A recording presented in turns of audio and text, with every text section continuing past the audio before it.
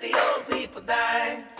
Well, let's let all the old people die. Grandma and Grandpa had long, happy lives. Now let's let them sacrifice themselves to the stock market. My folks don't need to see my children graduate high school, so let's get killing. Do we really need old people anyway? Don't they drag down the economy?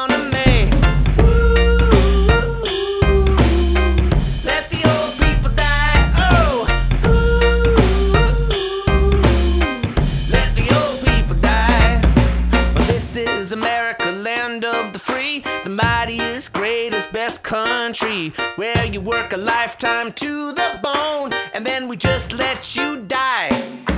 Sure, we could give everyone a little bit of the one trillion.